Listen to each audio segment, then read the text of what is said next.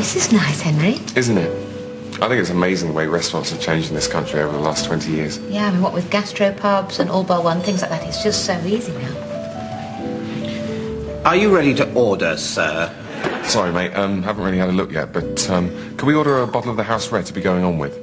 Mate, the House Red to be going on with? Where the hell do you think you are? Do you even know what the House Red is? Are you even an expert on wine?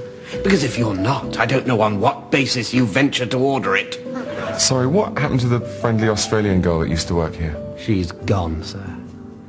They've all gone. and we're back. The incredibly posh people who are still unaccountably waiters. I'm afraid we've changed the rules. Well, we'd still like to order. I saw you in here last week. I saw you drinking your soup. I saw you blowing and slurping and dunking your bread. We were watching you on the monitors in the kitchen. And we all thought you were a dick. I can't believe you talk to paying customers like this. And I can't believe you're continuing with this. You know that I can destroy you. Observe my trolley. These are my weapons.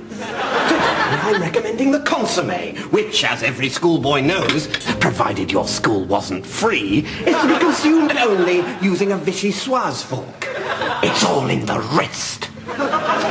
And for sir, crab, which you're supposed to tackle using this. Make sure you kill it right, or it's poisonous. Off you go.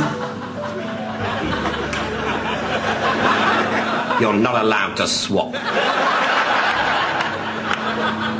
My, my, it's like watching the Generation Game. I expect that's a reference you get. Right, I've had just about enough of you talking to me like this. I'd like to see the manager. How can I possibly introduce you to the manager? You haven't shaved, you're not wearing a tie, and you hold your ladle like a pen. Now take your gaudy but gratifyingly mute girlfriend and get out.